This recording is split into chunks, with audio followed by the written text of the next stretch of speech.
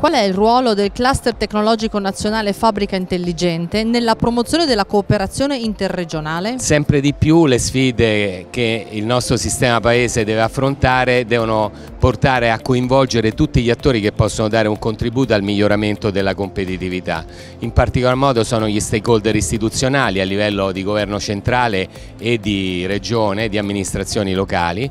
tutte le realtà del mondo della ricerca, dell'innovazione, dell'università che possono in qualche maniera dare la possibilità di indirizzare i loro sforzi verso quello che poi è la competitività del mondo industriale. In particolar modo eh, il cluster fabbrica intelligente rappresenta un esempio di cooperazione sia a livello multiregionale perché abbiamo la possibilità di fare leve su eccellenze del territorio che poi canalizziamo su eh, specifici progetti come per esempio i Lighthouse Plant ma anche con la possibilità tra virgolette di collegarsi a un livello internazionale eh, questo deriva dalla possibilità ovviamente di creare un allineamento in questo momento per esempio fra il piano nazionale della ricerca 2021-2027 e Horizon Europe che darà poi gli elementi anche finanziari per sostenere questi fronti. Quindi è molto importante che l'Italia eh, mette in moto eh, un gioco di squadra, un approccio da sistema paese proprio per andare a costituire un backbone fondamentale di innovazione a livello europeo nelle grandi sfide perché poi l'Europa